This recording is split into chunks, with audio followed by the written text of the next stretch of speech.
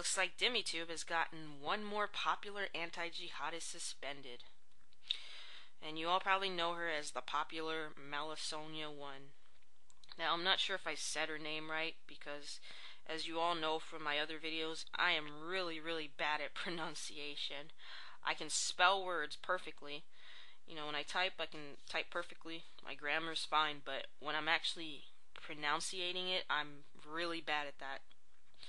So, correct me if I'm wrong. But anyway, this won't surprise most of my viewers because we're used to seeing at least two to three anti-Islamist pages suspended every day. So this isn't going to surprise most of you. And you know, most times when people are suspended, they'll just come right back, you know. I mean, I know I sure will. But see, Malasonja was one of the more popular anti-jihadists, you know, in the sense that she had a fairly large subscriber base. I mean, I, I believe she had over 600 subscribers. And, you know, a lot of people adored her. They adored her wittiness, they adored her sense of humor.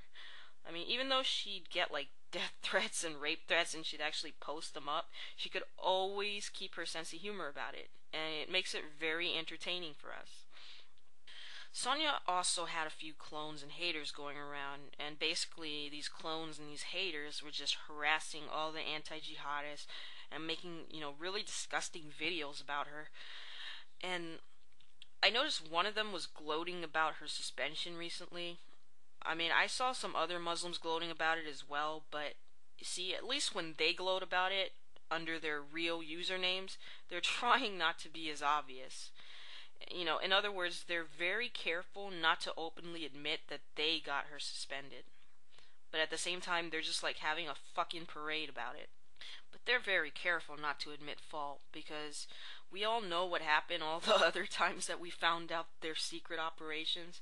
And they're still going on, believe me. Um, the accounts we see being suspended every day testify to this. I've had false DMCAs filed on me, and so have my friends on YouTube. And, you know, YouTube doesn't investigate this crap.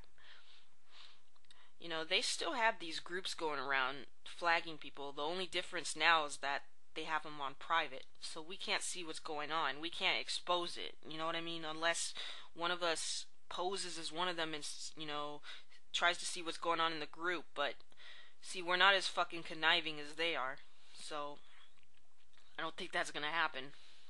Now, I know a lot of you who haven't seen what's been going on here, you guys still don't want to believe YouTube has this pro-Islam and anti-American, anti-Israel agenda.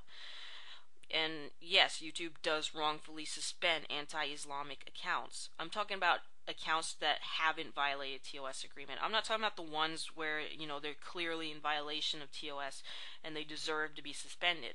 No, I'm not talking about those. I'm talking about like for example, false DMCA claims. I've had false DMCA claims on my videos, videos that have nothing to do with anybody else's content, just my own. Or videos that I've borrowed from somebody and I've gotten their permission to use. And yet they've been very fucking lenient with anti-Jewish and anti-American sniper videos. But, you know, that's not the only reason that, you know, this isn't what I'm basing it on.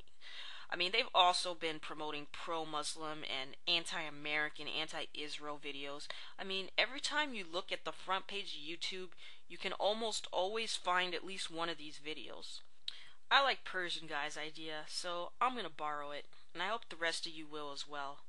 And let me just explain what it is. Okay, every time you get a Muslim calling you a Zionist or a Jew buy a bottle of wine from Israel. And it doesn't just have to be limited to wine. I mean, it could be anything that supports Israel.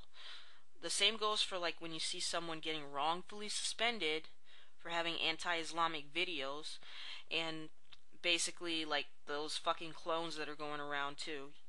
Every time you see this crap, buy something from Israel, something that supports Israel.